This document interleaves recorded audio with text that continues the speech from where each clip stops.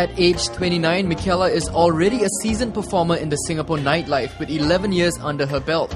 But her debut EP Michaela is only her first proper album, and Razor TV joins her at her album launch where she gives us the intimate details behind her songs.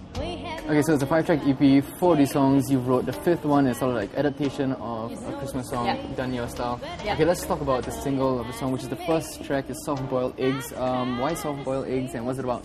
It's actually about my childhood. The whole song's about my childhood. Um, my mom used to force feed my sisters and I soft boiled eggs when we were kids, and I hated it. I thought it was just disgusting.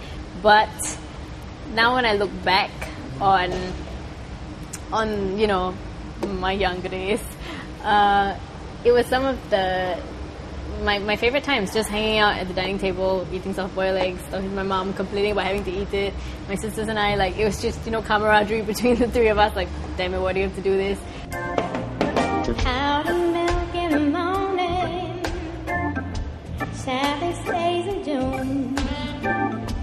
Grams and grams of Saturdays. Imagine, imagine, imagine.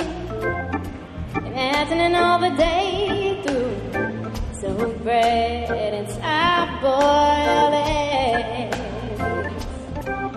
well i love it now i love soft boiled eggs now but um, it's just something that reminds me of when i was a kid and so the first verse of the song is about my family the second verse is about CHIJ.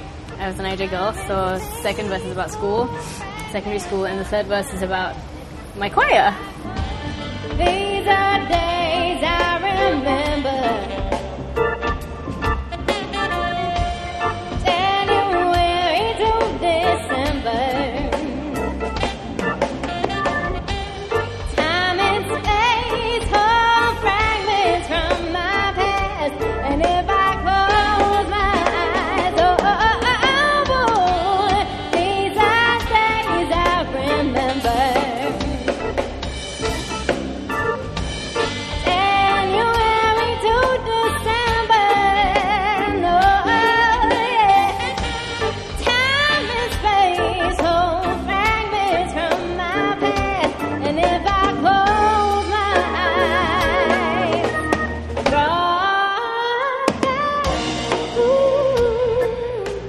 Singing stories from the heart, Michaela talks more about her song she wrote specifically for her mother.